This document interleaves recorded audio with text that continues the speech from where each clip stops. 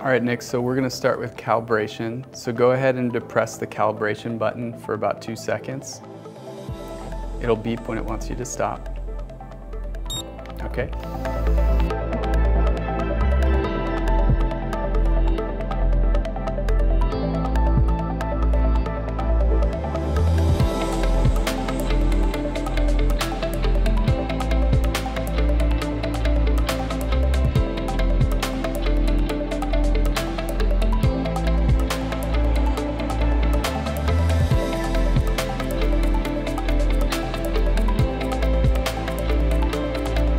Then we're gonna wait for a tone.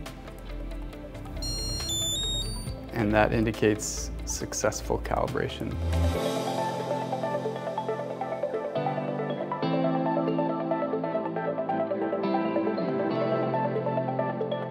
And you'll notice that the calibration button is giving us a signal. That white light indicates that there's some information to share, and that would come from the control coach.